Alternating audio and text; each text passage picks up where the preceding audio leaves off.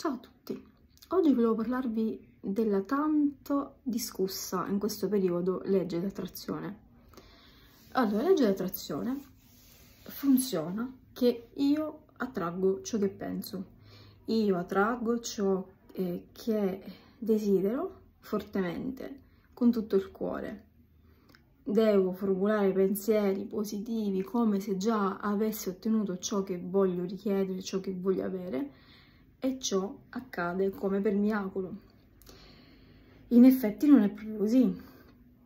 In effetti non esiste una legge d'attrazione, perché tutto ciò che noi attraiamo, tutto ciò che si è avverato, tutto ciò che abbiamo ottenuto, non è successo grazie alle leggi d'attrazione, leggi simili, ma semplicemente perché noi l'abbiamo scelto prima di nascere. Noi ci siamo seduti per dire a tavolino con tante anime affini a noi perché eravamo tutti insieme a decidere la stessa cosa e abbiamo deciso appunto che a un certo punto della vita terrena noi avremmo ottenuto quello che volevamo e probabilmente abbiamo anche scelto di arrivare a un certo punto della nostra vita e di conoscere fino a conoscenza delle leggi di attrazione.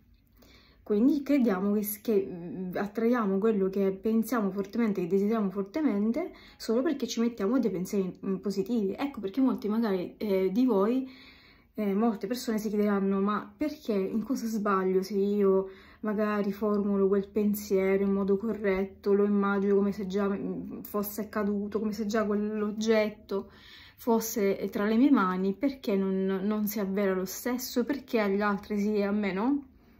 Esattamente perché voi avete scelto di conoscere la legge dell'attrazione,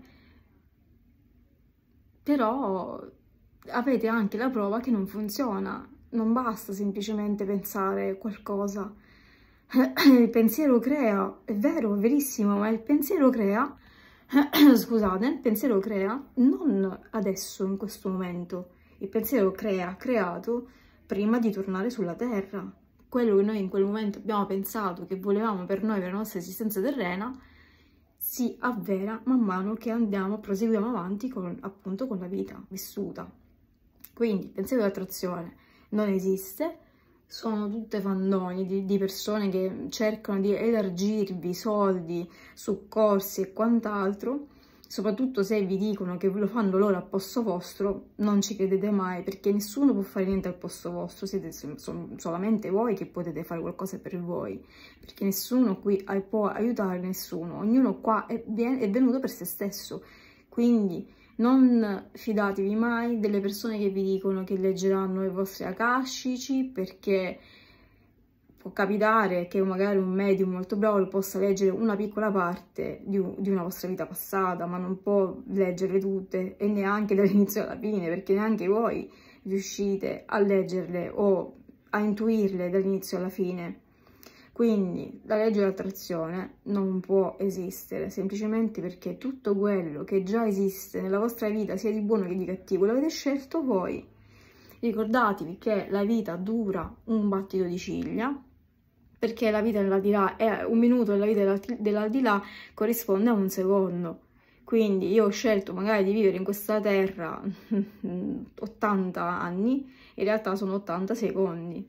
Quindi come vedete, per noi qua non, non passa mai il tempo, a volte invece diciamo come passa il tempo, come vuole il tempo, ma quando siamo nell'aldilà, anche sotto ipnosi, per chi magari ha già provato l'ipnosi, passa in un secondo, vola, tutto accade in un tempo brevissimo.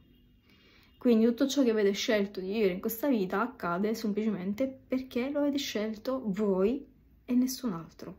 Voi in accordo anche con altre anime che hanno deciso di venire sulla terra insieme a voi, che vi fanno da padre, da amico, da amante, da sorella, da fratello, da assassino, perché no? Infatti non esiste il colpevole e la vittima, no? Quindi tutto quello che avete scelto voi purtroppo si avvererà.